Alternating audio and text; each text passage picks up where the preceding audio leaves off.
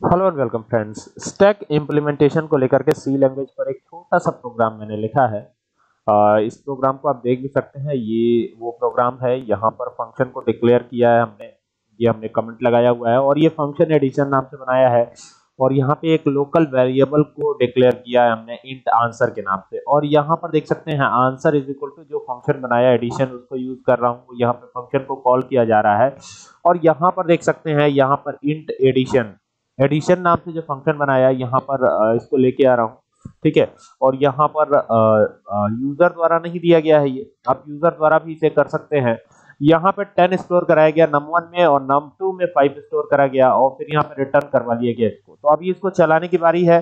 तो यहाँ से हम इसको चलाने वाले हैं। तो सबसे पहले क्या करना है आपको, यहाँ से कंपाइल करवाना है और कंपाइल करवाते वक्त ही हम इसको सेव कर लेते हैं किसी भी नाम से। ठीक है?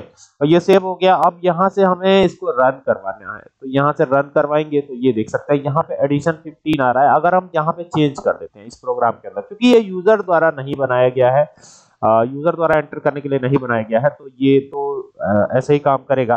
ठीक है? तो अभी यहाँ से फिर वापस से चलना है, इसको कंपाइल करवाना है देन यहाँ से रन करवाना है। तो अभी देखिए यहाँ पे सिक्सटीन आने लगा। तो इलेवन और फाइव तो सिक्सटीन ही होता है, देख सकते हैं यहाँ पे। यहाँ पे नीचे हमने जो दिया था उसी के हिसाब से ये आंसर भी आ रहा है। ये देख लीजिए, यहाँ पे 11 है और लास्ट नीचे यहाँ पे देख सकते हैं ये 5 दिया गया है। तो इस तरीके से आंसर हमारा 16 आ रहा है। तो फ़ंक्शन बनाया जा सकता है। फ़ंक्शन बनाने का फ़ायदा ये है कि आपको एक ही प्रोग्राम में जब बार बार किसी रेपिटेटिव कोड का इस्तेमाल करना है तो उसके लिए फ़ंक्शन हम बनाते हैं और उसे एक नाम दे देते हैं जिसका फ़ायदा हमें होता है। ठीक है? ओके